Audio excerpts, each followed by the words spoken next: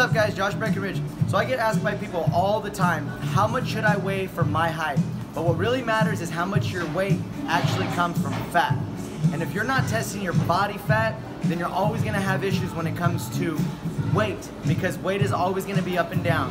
How much water you're drinking, how much you ate, how much you've gone to the bathroom. So know your body fat percentage and know how much muscle you're gaining and how much fat you're actually burning on a monthly basis if you really wanna get the best results.